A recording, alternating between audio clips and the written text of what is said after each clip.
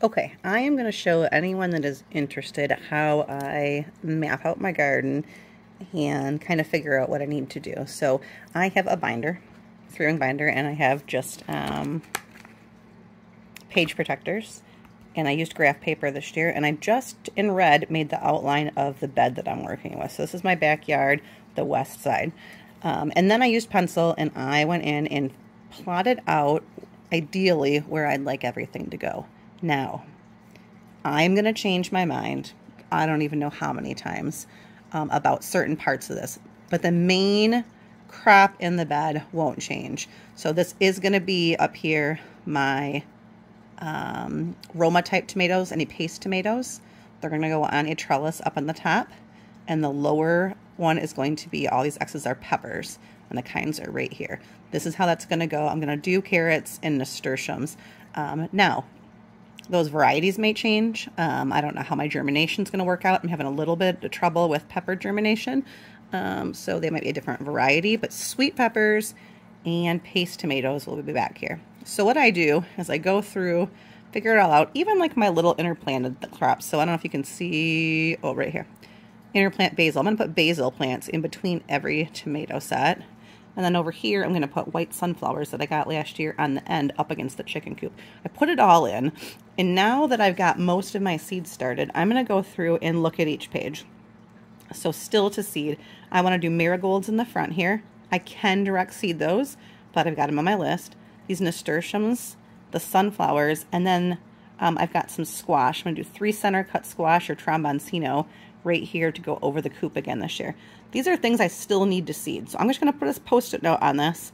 Hey, you still need to seed these ones. As I'm going through and starting new seeds, I'm going to check and see, you know, which ones to go. These are all um, April 1st, April 1st, April 1st. Marigolds I could start anytime, but I don't even need to. So if I'm out of space, marigolds I can just direct sow in the ground. So that's probably what I'll do. Um, and then I've got a note in here, back up your sweet peppers. Because my sweet pepper germination is a little bit less than I'd like, I'm going to keep an eye on these, and I might make some backup plants um, if I have room. So I just put my notes on there. So same thing here. This is the back. So now this is the bed we were just looking at. There's my chicken coop all along the back. I'm moving a bench into this. This is used to be a sandbox for the kids. They don't use it anymore. So this is kind of going to be my little greenhouse corner. I'm going to put some pots back in here. I'm going to put some flagstone right in front of it because the chicken's door is right here. And it kind of um, is rough looking because the chickens come out and forage and stuff. So I'm just going to put flagstone there with some low growing things. The back wall, sweet dumpling, honey nut, delicata, squash, and sugar pie pumpkins. Um, so I did the same thing here. All those squash, I still need to seed April 1st. And then I put a note down here. I might need to seed more marjoram and yarrow because right now I've only got a, one of these and two of these. And if I'm going to use them in this herb spiral, I might need a couple more plants. So there's my notes. On the other side, this is the chicken coop over here. This is the back wall. So this is going to be the east side of my property in the backyard. And these are my slicers. They're going to go about 14 slicer tomatoes. And I'm going to string trellis those. Again, there's the kind. If they work, great. If they don't, these are my big slicer tomatoes will go. Um, I've already got my zinnias started, white plum flowers, the sugar pie. Sugar pie pumpkin this year, I'm going to grow it on this back wall. And I'm going to train it because right here are our sheds. I'm going to grow over the top of our sheds. Well, we'll see how that goes. Um, yeah, so I've got a note here. I got asters in this bottom corner. Asters bloom in the fall, so they can start a little bit later. Um, but I need to get my asters and my sunflower seeds started relatively soon. Okay, here is that tomato bed. So we're coming around the corner. I got this little tiny uh, area. It's got trellising on it. So I'm growing my melons here, Kajaria melon and the Savoy melon. Um, I've never grown this one. This one I grew in a bad spot last year, so I'm going to give it a try again. I'm only going to grow maybe two plants of each, and then I'm going to interplant with this Granny Cantrell beans. Put some sunflowers there, some herbs. Um, so I got here, start melon seeds, April 1st. This does not have much in it. It's the salad garden. It's right outside my back door. Um, it's about four by 10, maybe. Um, And all I've got is start nasturtiums April 1st because everything else is all my spring stuff. My spring things are going to go in there. That's the first place I'm going to plant. So they're already established and ready to go. I'm just waiting for a break in the weather. All right, so here's how you gotta do. So this is where I'm at. This is my driveway. And um, this is the my back door, back over here, heading down toward the road. And I have got um, an old ladder trellis right here against the house. And then I've got a stone bed. And right here, I've got a big, long 12-foot bed. And then another stone one. And on the end right here, I've got a wooden tiered, so lower, medium, highest thing to end it out. So again, I went through, marked out things that don't change in red, except right there. Look at it messed up. Oh, I get carried away sometimes. So that's what's going on there. And then I'm just going to put a sticky note here and I'm going to go through and look. So in the ladder trellis, I don't know what I'm putting there. I am putting these cherry tomatoes and grape tomatoes here. Those are already started. They haven't germinated, so I'll keep an eye on them. Same thing here. Right here, I'm going to do habanadas and tequila sunrise peppers with some calendula, all started, good to go. In this middle, I am going to grow nasturtiums with all my summer squash. Now, none of these are started. So down here, I'm going to put a note, squash and nasturtium. Start, uh, I'm going to start those April 1st. Okay, so I know come in and do those. Over here, same thing, all started. Both those peppers are started. These are spring things that I already have going, except for the sunflowers. So I've got Brussels, that's my cauliflower, my broccoli, kale, cosmos, marigolds in the front on the ground, cabbages and beets. Everything here started except sunflowers and marigolds. So I'm going to put sunflowers April 1st too. And then I'm going to go marigolds, question mark. And I'll keep an eye out. And if I have room, I'll do marigolds. Okay, next one. This is my front porch. So this is my front porch. There's my steps going down the sidewalk to the front. Um, back over here is where we just came from. I got bushes on this side. I'm going to do kale. I got some decorative kale over here because this is shady once the trees all leave out um, into the summertime. I've got irises, and I'm going to put a little bit of zinnia here, and I'm going to see if it flowers well. It is got some dappled sunlight. I don't know how well it'll work, but I might put some smaller ones there.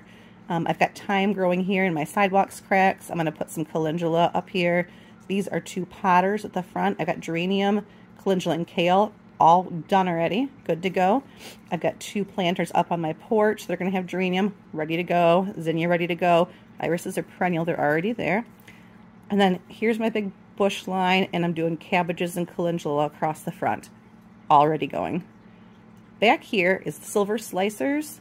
Um, those are cucumbers that I'm going to do. I'm going to do scarlet runner beans interplanted, and I'm going to do three pea towers. So I'm going to make myself a little sticky note. Cucumber starts.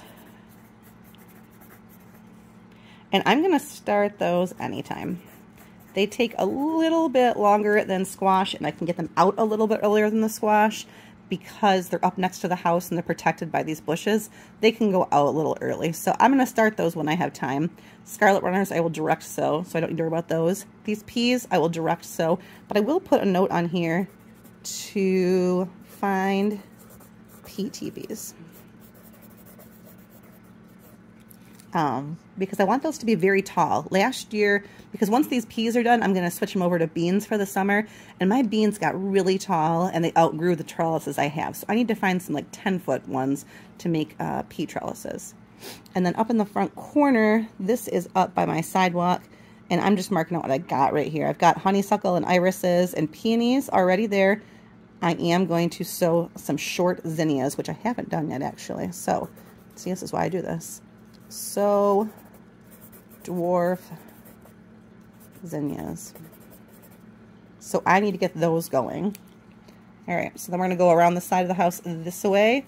Um, if you notice over here, this is the side of my porch. I grow up my porch. I got five slicer tomatoes, which I already got.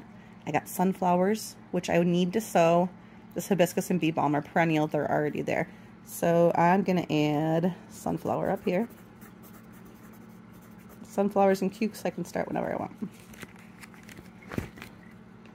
Um, and then, so there's those tomatoes we just looked at. There's the bee balm. And I've got the side of the house here. This is a little bit open. I get to be a little creative back here because um, it's kind of like my perennial herb garden. I'm trying to put things in it that are going to be perennial and just fill in every year any holes with annuals. So I have got some lilies in here, some irises and some phlox, thyme, oregano, sage, lavender. I have lemon balm here, but I'm going to rip it out. That's why I got it in parentheses. It is a bully. It um, is taking over my bed. It's got to go. Black-eyed Susans and daisies, and I've got some columbine over here what I'm going to do, what I'm going to do is I'm going to add all these things in. So I'm going to pull these out and I'll have space along the house. I'll have space in front for something short. I've got some hollyhocks I'm going to put in the back, larkspur. I need to add chive in here somewhere and then fill in with zinnia and snapdragons. And I need to get a marjoram going. That's a perennial in my area, so if I can get that going somewhere in here, probably somewhere down lower. This is up high. It drops down low. Here's my bushes. I've got wild geranium underneath here um, and crocuses and then some lupin over here. And then on the end I have a bucket, delphinium and calendula. So everything here is going and this is kind of my spot to be a little more creative. Oh, I've got coreopsis over here in the corner too. And I'm putting creeping thyme on my sidewalk crack this year. Okay. Moving on past, so that way over here, this is my AC, it's my air conditioning unit. The bushes pick back up again. I got a flagpole right here, and this is where I put a bunch of other um, herbs. I got oregano, thyme, calendula. I'm going to put, probably put another um, marjoram over here. The zinnias are already sown, so I need to do sunflowers. So I'm going to add a sticky note in the middle of my bushes. Sunflower seed. Now, I'm putting April 1st on these. Sunflowers, people have very strong opinions on how to sow sunflowers. Sunflowers, you can direct sow. Um, people will tell you they don't like to be transplanted.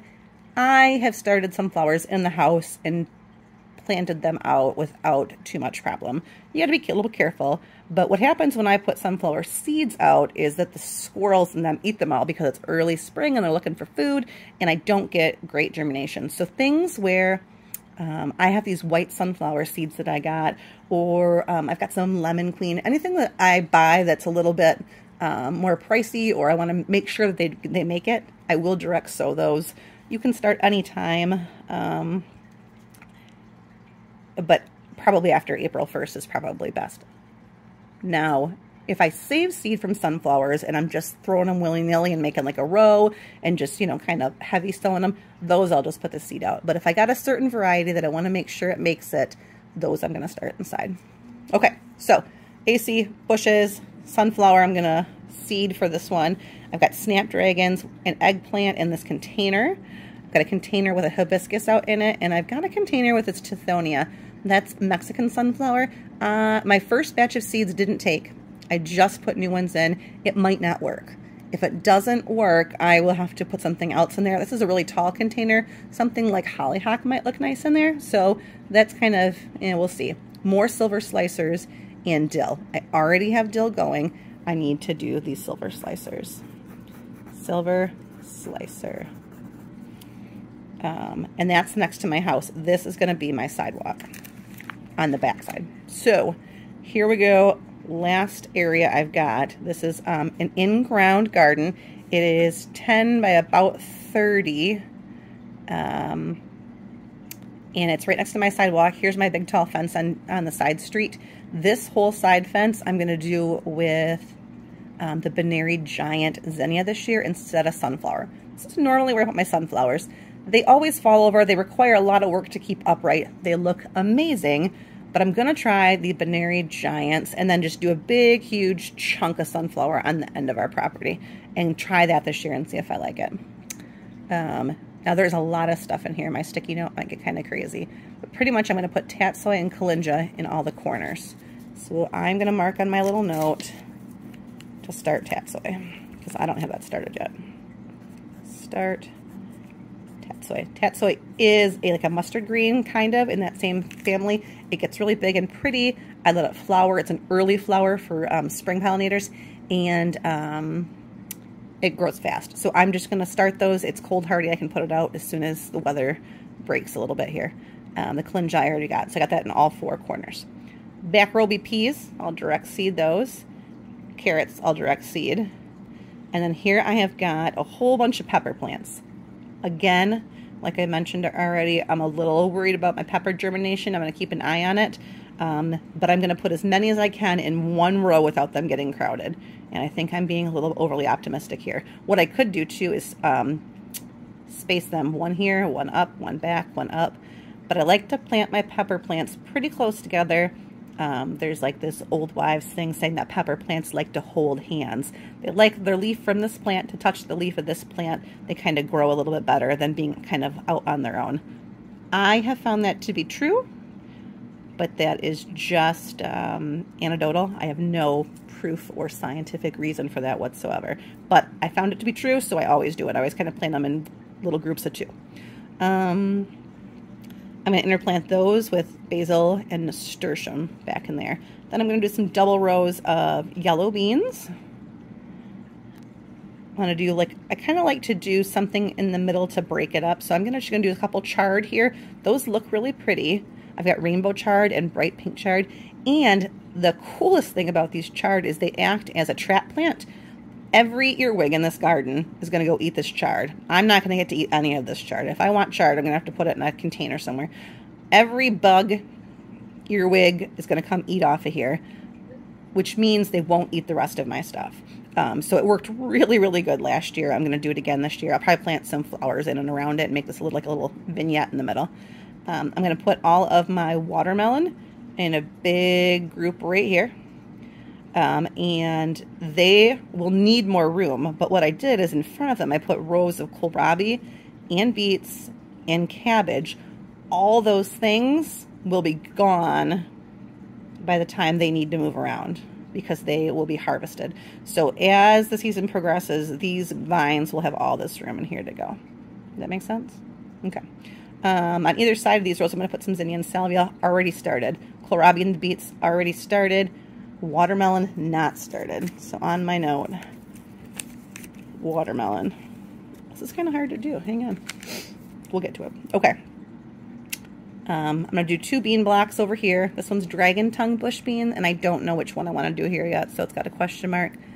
Down this row, we're going to do a row of um, a row of squash, and if you look, dark stars is zucchini, eight balls is zucchini, Cocozelle and Slick Pik are summer squash zucchini types. In the middle, I put this candy roaster. This is a winter squash. And the same thing is over here. I'm putting this winter squash in the middle. So as these summer squash die out, the candy roaster will have room to vine out a little bit here. It's my first year with this. I hope I'm not making a mistake. We'll find out. Um, and then I'm going to do Petit Gris and Minnesota midget melons on either side here. Same thing. We're going to lose all these, and I'm going to have room for those to spread out 30 feet back and forth.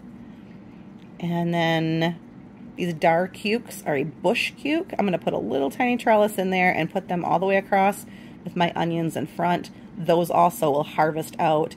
Cucumbers for me usually last, I've never done this variety, so I don't know, but I've never had a bush cuke go really far past, you know, mid-July, end of July. So by August, those will be gone. Uh, my onions, same kind of thing about the first week of August. I think last year's when I yanked those out. Um, so, and then I'm going to spaghetti squash over here. So, let me get my sticky note and make it stick so I can actually write. So I got to start the tatsoi. I have to start my squash and my melons.